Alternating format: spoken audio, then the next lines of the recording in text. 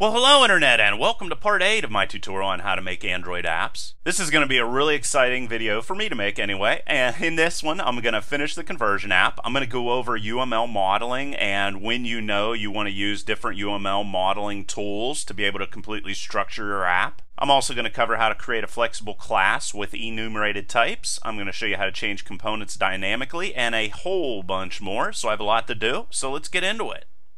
Okay, so for future tutorials, I decided I wanted to use an action bar activity, and to add that, all you have to do is just put action bar activity inside of there, and then come up here and make sure that this import shows up inside of there, this guy right there. Of course, all the code is in the description. And then what you're going to need to do is go in here and get your build Gradle, this guy, open that up. And you can see inside of here that I went ahead and increased this to 20, and this to 20, this to 14, this to 20, and I didn't touch anything else. And then so that I could use all of that stuff I just showed you, I put in this final line right there. Okay, so that's important to know in regards to how to increase the version of the Android SDK. And as the different versions of the Android SDK progress and become stable on every operating system, I'm going to progress and increase them. Alright, so now let's get back into actually creating our app. Alright, so when I left you off, we finished on Create, among other things. And of course, if you didn't watch part 7, you pretty much have to, otherwise this will be massively confusing. Okay, so I'm going to come in here and I'm going to continue using my use case description to describe describe everything here. Another thing that's going to happen is we are going to see when the basic use case description no longer works which is very important. So this is for all the people that keep asking me, what is different about this tutorial? This one's going to go into a lot more depth. I'm going to create a quantity class, and that's going to make it very easy for me to be able to go and convert from different types. I'm going to jump over in a presentation and explain why. All right, so here I am. What? Let's just say that we want to convert from one gallon to cups. That's going to equal 16 cups, which we just multiply whatever is in gallons times 16 and get that. Seems really simple. And then what we could do is also, you're going to see different conversion types here or different ways to convert from gallons to cups. We would divide by the same number here as we would multiply down here to convert backwards and forwards between gallons and cups. Seems pretty elementary. The only problem is what happens whenever we also want to be able to convert between gallons, cups, teaspoons, tablespoons, ounces, pints, quarts, gallons, pounds, milliliters, liters, milligrams, and kilograms. All of a sudden, everything gets much more complicated. However, if we instead decide that we are always going to convert from whatever this value is to teaspoons, and then from teaspoons to the desired final unit of measure, the world gets much more simple. In this situation, for each different unit type we want to support, we just need to have a number inside here that's going to allow us to convert from teaspoons to cups, let's say, and from cups to teaspoons. And I'm going to demonstrate using enumerated types exactly how we're going to do that. And how we're going to do that is we're going to create a quantity class and it's going to contain a value and a unit enumerated type.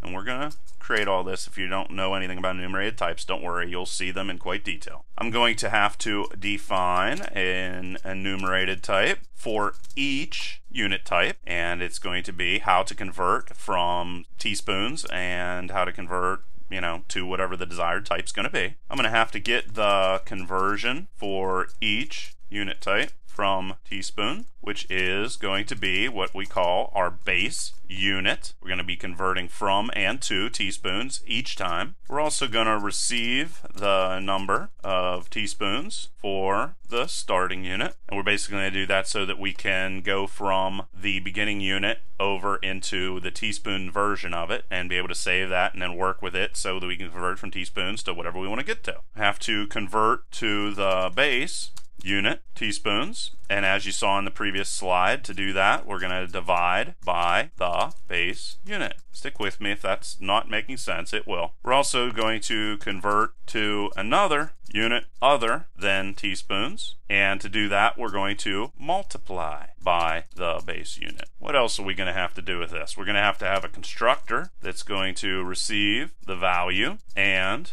the unit type. And then finally, we have to create a toString method that is going to print out the value and unit type. And let's just say that we want that to be two, four decimals. I don't know. And to really understand this, you really should print this out so that you'll be able to see it in front of you while I'm creating the code. So I am over in App Inventor again, and what I'm going to need to do here is come over here and right click and new and Java class and I'm going to create exactly what I just showed you. It's going to be a quantity class and I'm hit OK. And a whole bunch of people have been asking me not to zoom in these videos as much. Uh, I'd like to hold a vote if you guys would please help me with that and tell me zoom or not to zoom. I don't know how many people watch these full screen and I, I basically just do what you guys want me to do. Okay, so each unit or each object that we're going to create in this quantity class is going to have both a value and a unit of measure. So I'm going to create these as finals because they are not going to change. They are going to be unique value. And I'm also going to come in here and create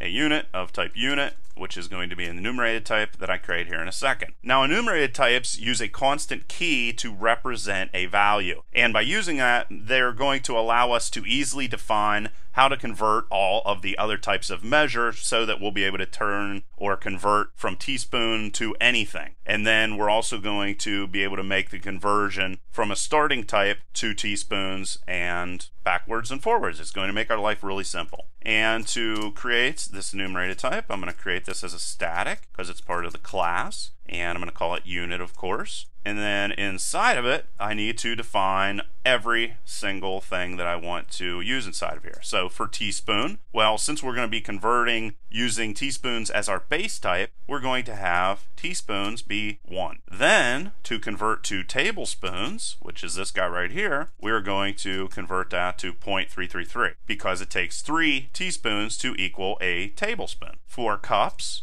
we're also going to come in here and 0 point, you just saw this guy just a second ago. There it is. And then I'm going to put all the rest of those in there. And there is every conversion both from teaspoons the whole way through kilograms. All right. Now what I'm going to need to do is come in here and define that teaspoon will be our base unit of measure. Everything will at some point be a teaspoon no matter what it is. So we're going to have to go in here and go final, static, unit, and base unit is equal to teaspoons. There that is. I'm also going to hold the number of teaspoons from the original unit because we're going to eventually convert something into a teaspoon and that guy is going to be stored in our double by base unit. That's where that's going. Then we're going to also have to receive the number of teaspoons the starting unit is going to be equal to and this is going to be double and I'll just call this in teaspoons because it's going to be whatever the original thing is in teaspoons. This by base unit is equal to in teaspoons.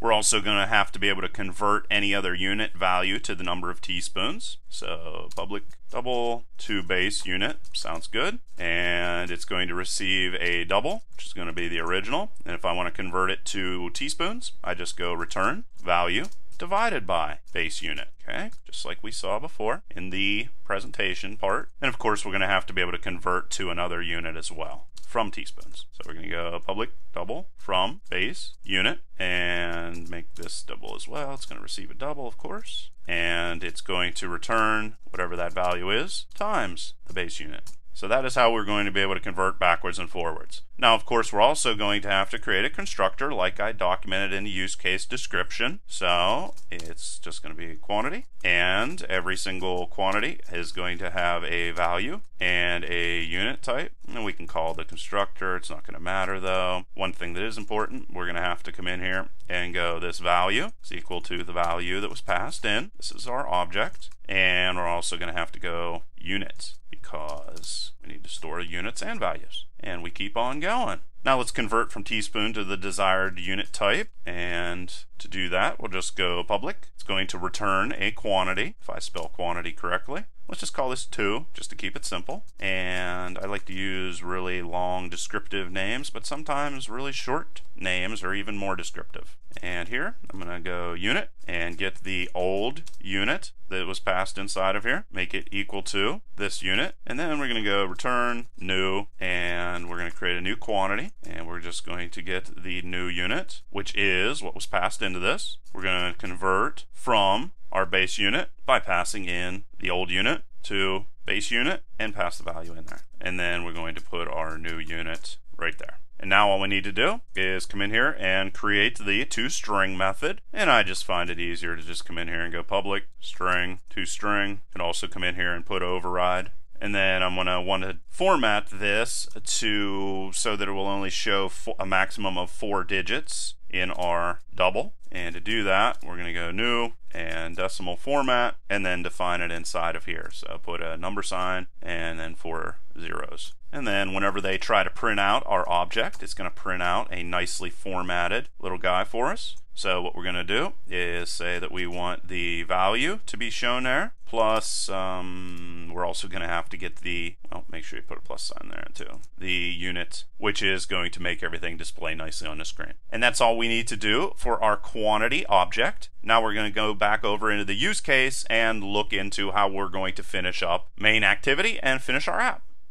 Alright, so what did we say? We said we want to finish up main activity. So, what do we do here? Put in a 4, and let's say that we want to finish the main activity.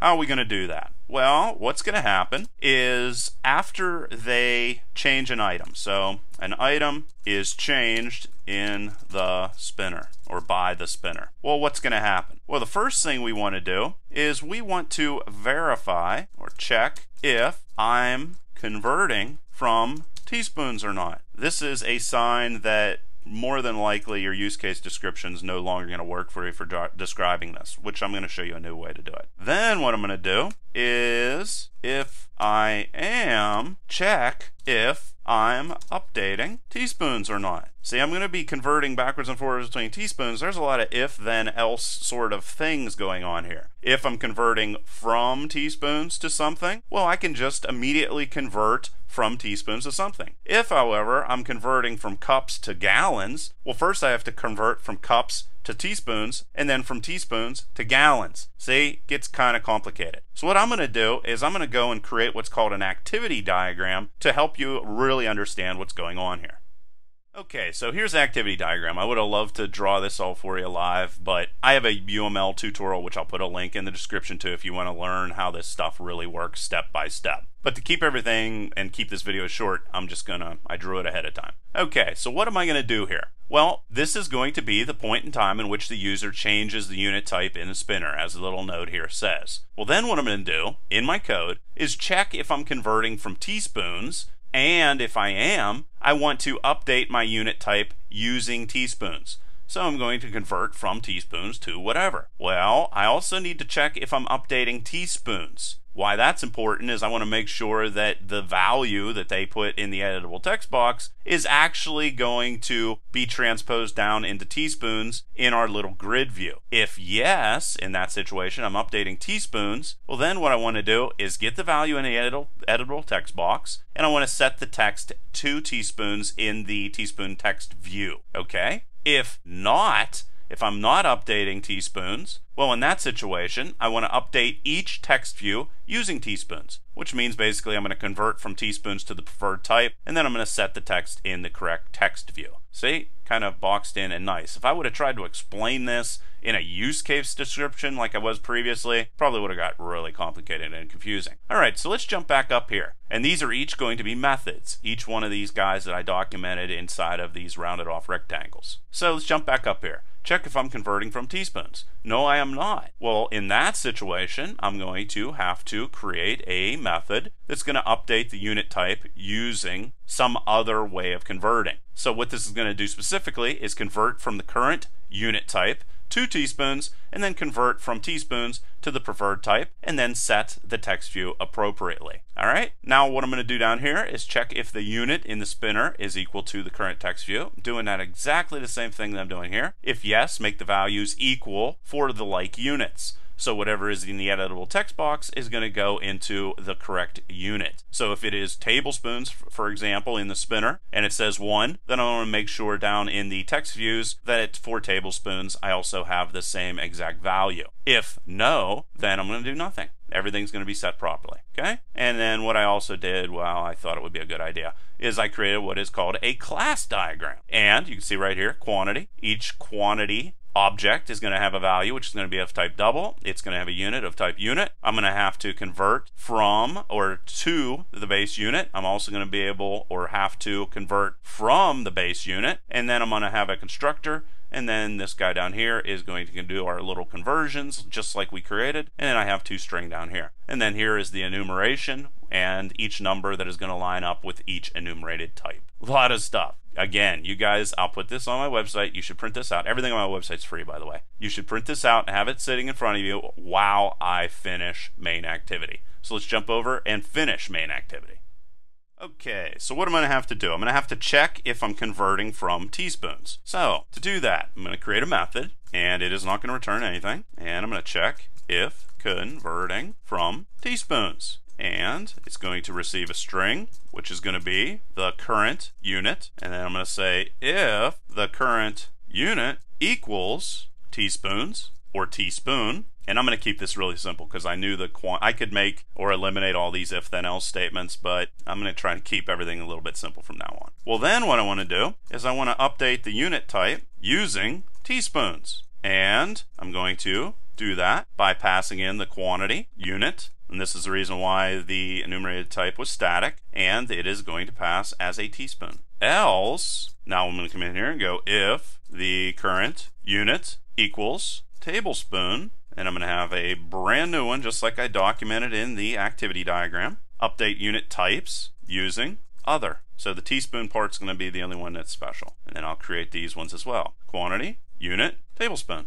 And then just to save ourselves some time, I went and created those for every single different unit type. So we're going to call this guy if it is, whoops, we're going to call this guy, which we're going to create in a second, if we're working with teaspoons, and we're going to call this guy if we're working for anything other than teaspoons. So let's go and let's create this method right here. Come down here, and this is going to be public void and update unit types using teaspoons. Let's move this over here. And what's it going to be passed? Well, it's going to be passed a quantity, of course, because that's what we're passing it. And it's going to be unit type, and we're going to call this current unit. Inside of this, we're going to have to convert the value in the editable text box to a double. And to do that, we're going to go double to convert. And to convert it, just go double dot parse double, pass in the amount text view, and we're going to get the text from our amount text view, and then we're going to convert it into a string, just like that.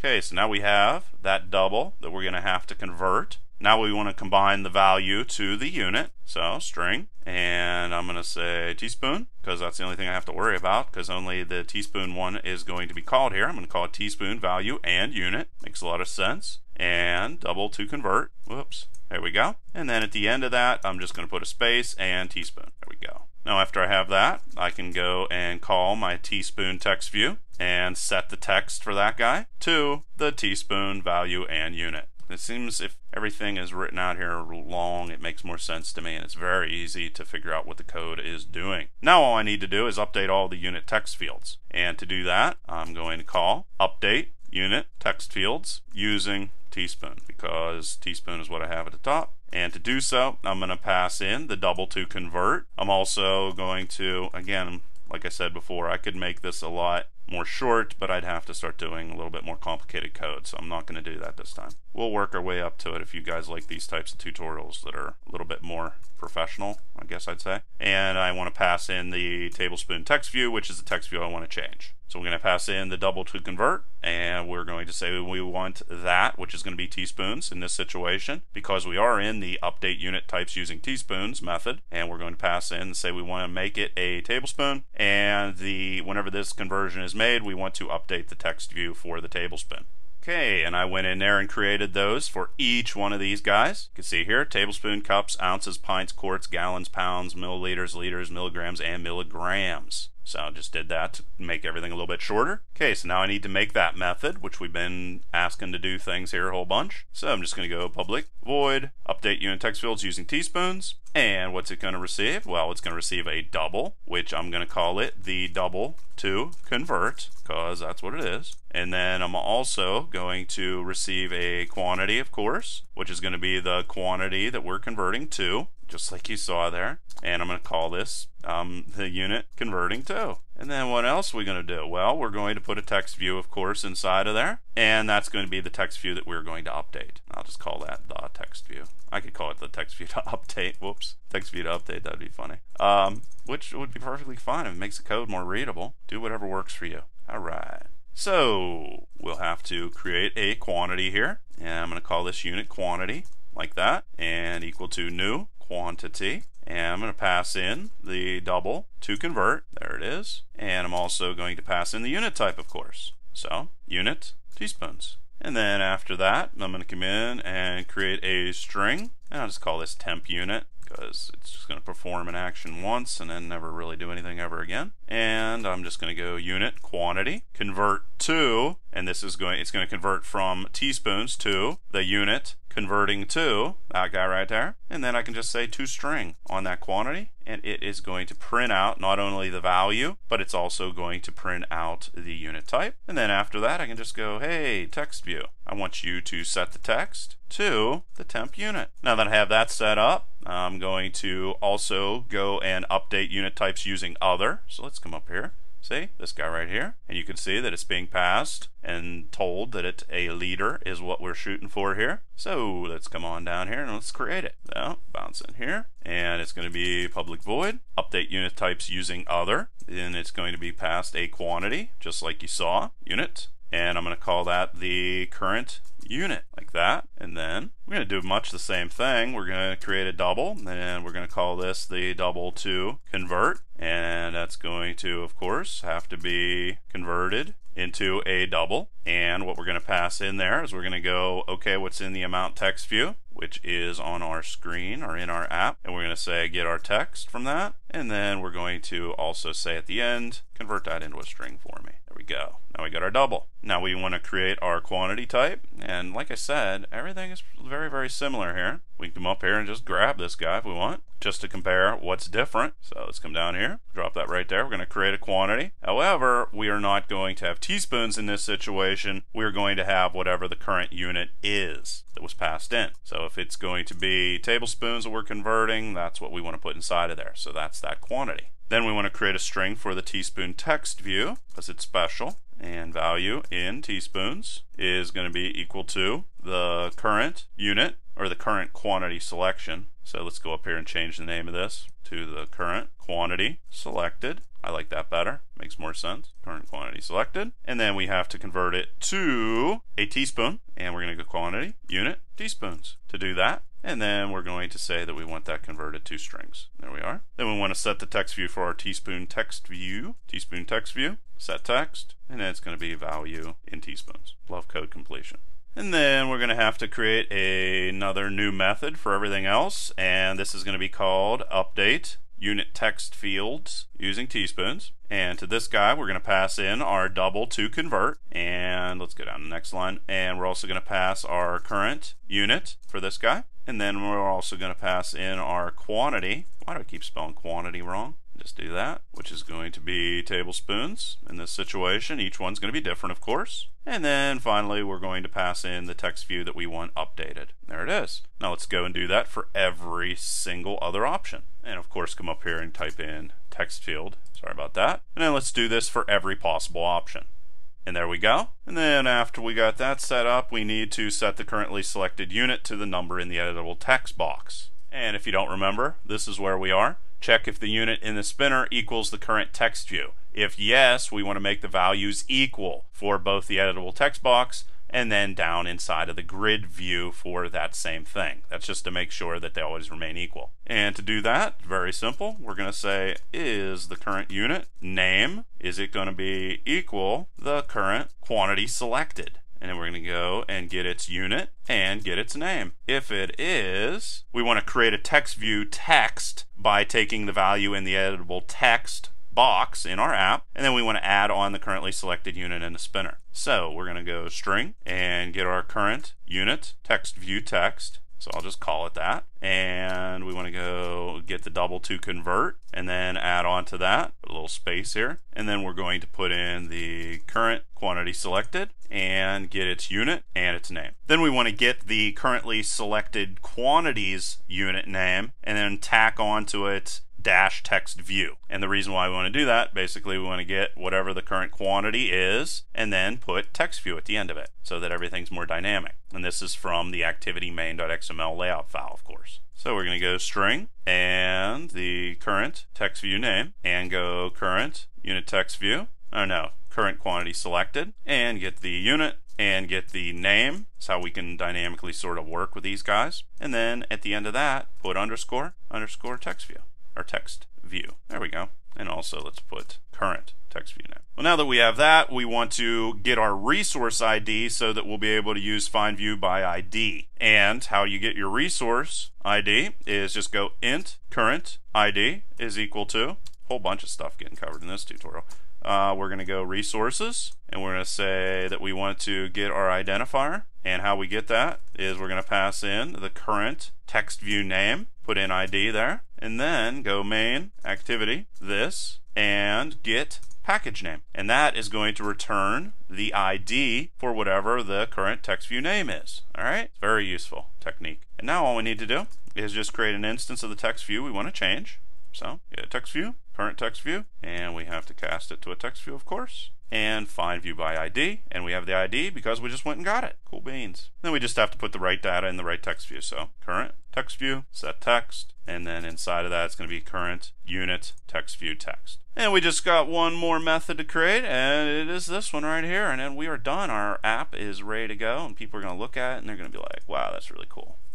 so let's go public void, update unit text field uh, with teaspoon, and it's going to be passed a double, if I can spell double right. Doing this stuff in my head like this sometimes makes me a little goofy. Okay, so double to convert. It's actually not the code writing, it's the trying to say the right words to you guys. Um, so I'm going to go current unit and make sure this is uppercase, U. Alright, so what we're going to do here is update the text field using teaspoons. And we have to do a couple more things inside of here. We're also going to not only get the current unit, but get the preferred unit that we want to convert unit type, and this is, I'm going to call this preferred unit, and then the text view that we're going to be updating, and I'm going to call that target text view. Alright, now that I have all of those set up, I need to create a quantity again, and I'm going to call this the current quantity selected, because that's what it is, is equal to new. Let's go next line, spell quantity right, quantity, and we're going to pass it the double to convert, and we're going to pass it its current unit. That's going to tablespoons or whatever. And then we just need to convert from whatever the current unit is to teaspoons and then convert from teaspoons to what we want to get to. So let's just go string and let's just create this as a temp. Text view text is equal to, make this uppercase. And we're going to go current quantity selected and we want to convert it to teaspoons. So, and then we want to convert it from the teaspoons. Oops, let's get rid of that to our preferred unit. Preferred unit, which is going to be cups or pretty much anything that isn't teaspoons. And then we just call toString on it. And that's going to output both the value as well as the unit type. Pretty cool. And then after we have that, we can just go target, text view, that guy right there, set the text to the unit value as well as the unit type, temp, text view, text. Boom. And I have an extra little curly bracket on there see if there's anything else I made an error on. And up here I needed to put in an extra curly bracket. So must have got away from me there. And everything looks good. Don't see any errors anyway. So let's run it. Okay, made a little bit of an error here. No problem about that. What I need to do is go in here and put Derek Banas inside of here. Of course, yours is going to be different. How to know what to put inside of there, though, is to go into main activity, and you can see there's the package name right there. So just make sure that that is the same for your Android manifest.xml file. Another thing I wanted to do is down here in the style section, I'm going to put at style forward slash theme.app compat, and that's going to make that work. And one other thing, I need to go into each of these text views that I have here in my grid layout and make them black, okay? So every single one of those has black inside of it. Those text views just in the grid layout. So you can see right here, there's black. Okay, and there's black. See? So just do that for every single thing over inside here, text view wise. And that'll fix it. And now let's run it and see if it works. Okay, so here is the conversion app, little Android right there, the default logo, and you can see right here I type in convert from, I can put anything in there, and whenever I switch over, it automatically converts to all of the other different unit types. So, does exactly what I want. Okay guys, so I covered a lot in this tutorial. I hope you enjoyed it. Of course, feel free to leave any questions and comments below. Otherwise, till next time.